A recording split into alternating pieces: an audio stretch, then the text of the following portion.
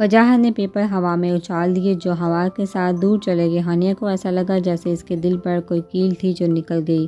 बेजगीनी से इसने वजाहत को देखा जो अब पुरस्कून होकर बैठा हुआ था। वजह ने घड़ी में टाइम देखा, जो कि शाम के सात बज रहे थे। घर चले क्या हानिया का खामोश दे के वजाह ने हानिया को मुहतब किया। हानिया ने बिना आवाज़ के सर नफ़ी में हिला दिया। वजाहत हानिया को नफ़ी में सर हिलाता देखकर मुस्कुराने लगा। ठीक है, कुछ वक्त और यही बैठते हैं। मैं ज़रा करीम से कह दूँ, करीम वजाहत का मुलाजम था, वो हमारे लिए खाना ले आएगा।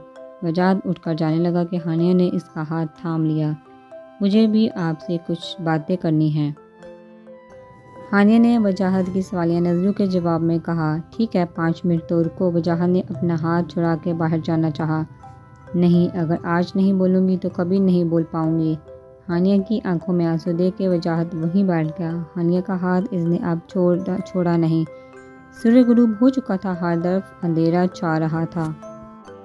समंदर का खूबसूरत नज़ारा अब एक अलग ही अंदाज से सुकून बख्श रहा था। ठीक है, बोलो, क्या बोलना चाहती हो? वजाह ने अब इससे बोलने का कहा।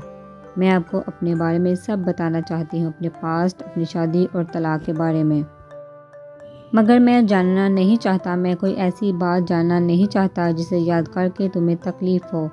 और तुम्हें तकलीफ़ में देख के मैं तकलीफ़ देने वाले को ही ना दुनिया की तकलीफ़ों से आज़ाद कर दूँ। वजह ने बहुत संजीदगी से कहा, प्लीज़ मुझे बोलने दे और ख़ास करके आज। मैं नहीं चाहती कि कल को कुछ भी आप मेरे बारे में किसी और के मुँह से कुछ भी सुने। वजह ने हाने की बात सुन के सारस बात में हिला दिया। अपने माँ बाप की मैं बहुत लाडली हूँ और इससे भी कहीं ज़्यादा फाहर भाई मेरे लाड़ उठाते आए हैं। फिर भाई की शादी होगी तो ईशा भाभी ने भी मुझसे बहुत मुझसे बहुत प्यार करती थी। बल्कि मुझे अपनी छोटी बहन समझती थी, मगर भाई की शादी के बाद लोगों ने बातें करनी शुरू कर ली कि पहले बेटी की शादी करते, फिर बेटे को निपटाते। मगर देखो, ज़रा जवान बेटी को घर में बिठाया हुआ है। ऐसी कई बातें हमें सुनने को मिली, फिर जब पापा ने किसी से सुना कि कहीं कोई इनकी बेटी में ऐब तो नहीं तो पापा को बहुत दुख हुआ। भाई की शादी के तीन साल बाद मेरे लिए प्रपोज़ल आया। वो हमारे दूर के रिश्तेदार थे। माँ बाप थे इनके घर में। दो बहनें और एक इनके बेटे मौज़म मौज़म एक प्राइवेट कंपनी में मुलाजमत करते थे। दिखने में भी काफ़ी बले थे, यानी कि शरीफ लगते थे। हनिया ने जब वजाहत के तासरात देखे मौज़म के ज़िक्र पर तो फ़ौर शराफत वाली बात बोल दी। मैं बीस साल की थी ग्रेजुएशन कर लिया था मास्टर की तैयारी कर रही थी कि मेरा रिश्ता पक्का हो गया। भाई ने मुझसे पूछा था कि मैं शादी करना चाहती हूँ कि नहीं। मैं ना करना चाहती थी, मगर पापा की खुशी की हाथर हाँ कर दी और जल्द ही शादी करके अपने घर चली गई।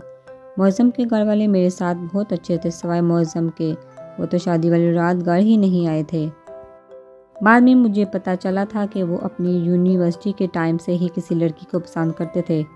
मगर वो लड़की मौज़म की अम्मी को पसंद नहीं थी।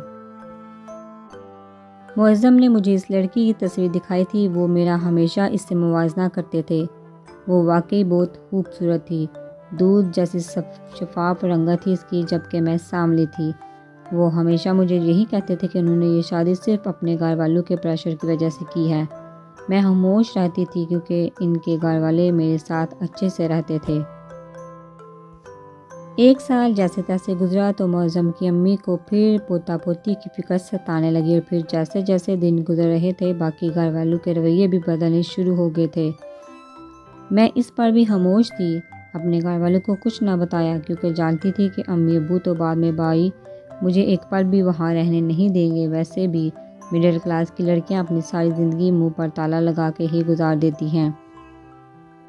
बोलते वक्त हानिया के लबू पर एक तला मुस्कुराहट आ गई, जिसे महसूस करके वजाह ने एक पल अपनी आँखें बंद कर ली।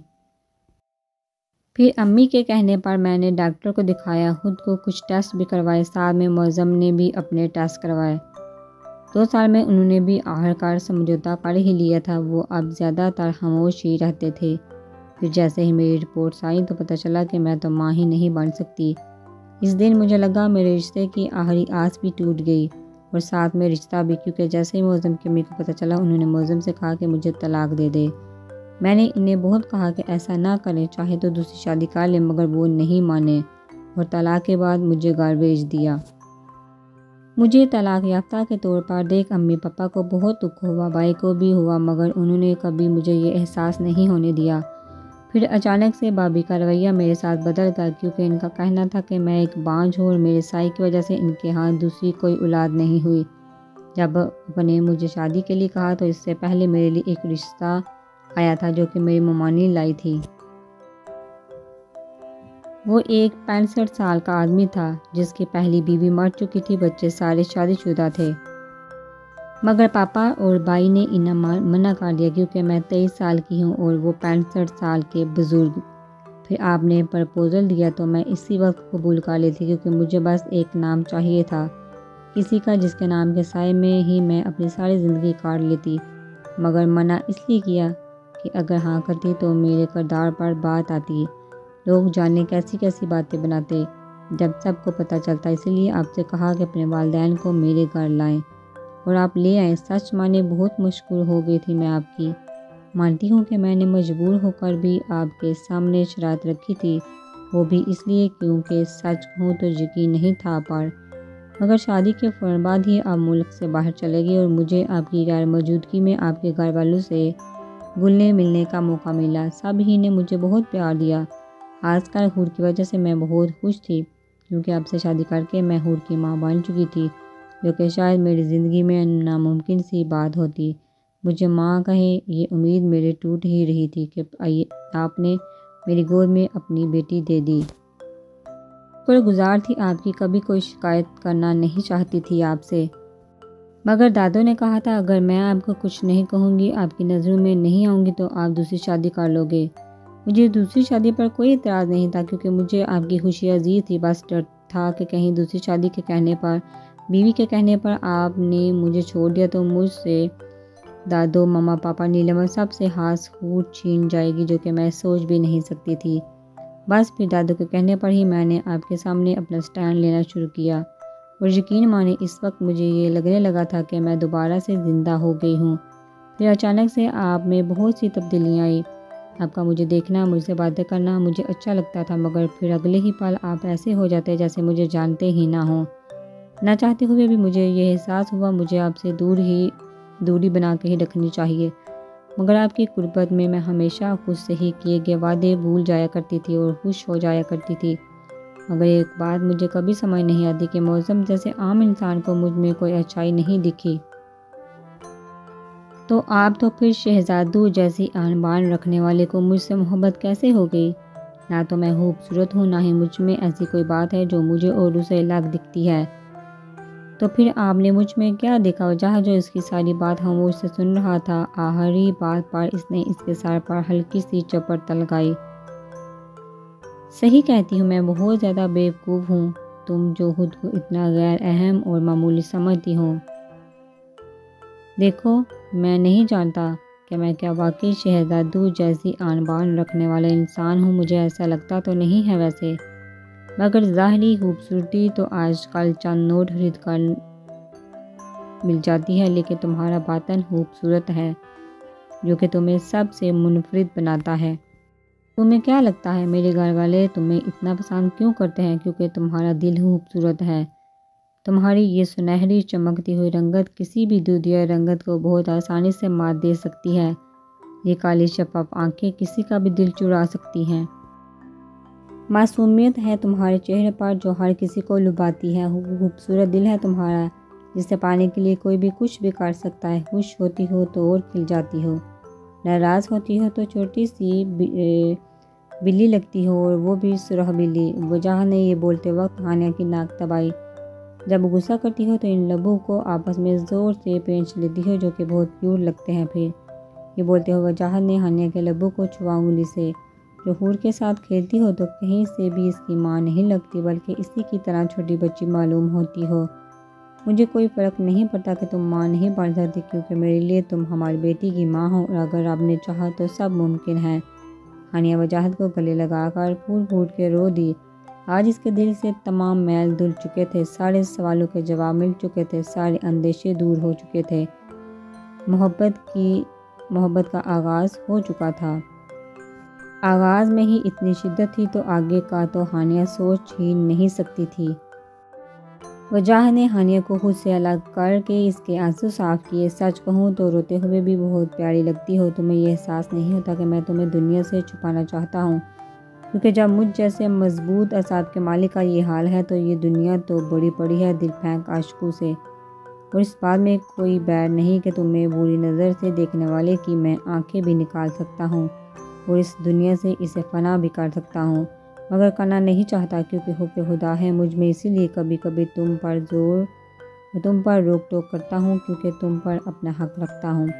वजाहत की आँखों में हानिया ने देखा तो इसे नमी से महसूस हुई। जैसे ही नमी बाहर आने लगी, हानिया ने इसी नमी को को ही अपने लबू से चुन लिया। नीलम हादी के लिए भी सामान लाई थी, माल थे जो मुलाजम इसे दे गया था इसके कमरे में। हादी वो सामान देख के मुस्कुरा दिया। वो जानता था कि ये सब सामान कौन लाया होगा। नीलम अच्छे से जानती थी कि हादी को क्या पसंद और क्या नापसंद है। आज भी वो इसके ज़ोक के एन मुताबिक ही चीज़ें लाई थी। हादी ने अपना सामान देख, जिसमें एक घड़ी एक परफ्यूम और एक शर्ट थी जो हादी को बहुत पसंद आई थी, मगर इस सब सामान में शायद नीलम के सामान का एक पैक आ गया था। हादी ने बैग उठाया और नीलम को देने इसके कमरे में गया, मगर वहाँ कोई नहीं था। हादी वो बैग इसकी राइटिंग टेबल पर रख दिया, मगर जैसे ही इसने बैग रखा, हानिया का फ़ोटो फ्रेम गिर गया। हादी ने वो फ्रेम उठाया तो देखा कि इसकी, कि वो इसकी कांच पर दरारें आ गई थी। शिट, ये क्या हो गया मुझसे? हादी ने इस फ्रेम को देख के कहा। यह वही फ्रेम था जो हादी ने ही इसे दिया था, जिसमें नीलम की मुस्कुराती हुई तस्वीर थी और इस पर खूबसूरत सा प्रिंसेस लिखा हुआ था। नीलम को वो फ्रेम बहुत पसंद था। हादी ने सोचा कि वो अभी तस्वीर निकाल कर ये फ्रेम फेंक देगा और एक इससे भी ज़्यादा अच्छा फ्रेम नीलम के लिए ले आएगा। मगर जैसे ही इसने फ्रेम की बैग खोली, इसमें नीलम के साथ एक और तस्वीर थी जो कि हादी की थी। इस तस्वीर पर नीलम ने मार्कर से लिखा हुआ था माई प्रिंस हादी अपनी तस्वीर को देख के चूम गया, पर जैसे ही इसे एहसास हुआ, कोई कमरे में की तरफ़ आ रहा है। इसने जल्दी से वो तस्वीर तस्वीरें वापस इसी फ्रेम में रख के इसे बंद कर दिया। नीलम कमरे में दाल हुई तो हादी को अपने कमरे में देख के चौंक गई। फिर इसके हाथ में अपना फ्रेम देखा तो इसके चेहरे का रंग ही उड़ गया। आप यहाँ लड़खड़ाते लहजे से पूछा गया। हादी ने अपने आप को नॉर्मल किया, फिर आँच से लहजे में कहा हाँ तुम्हारा एक बैग मेरे पास गया था। वही देने आया था, पर तुम यहाँ थी नहीं तो यही रख के जा रहा हूँ। मगर मुझसे गलती से ये फ्रेम गिर गया और इसका शीशा टूट गया है। नीलम ने वो फ्रेम हादी के हाथ से फ़ौरन छीन लिया। कोई बात नहीं, मैं शीशा चेंज करवा लूँगी। नीलम ने जल्दी से कहकर फ्रेम देखा जो कि बंद था। नीलम ने सुक्का सांस लिया और हादी ने इसके हर तासर को गौर से देखा। मैं चेंज करा दूँगा, दे दो मुझे। हादी ने अपना हाथ आगे किया फ्रेम लेने के लिए, मगर नीलम ने इसे मना कर दिया। नीलम की हवाइयाँ उड़ता देख हादी मुस्कुरा दिया।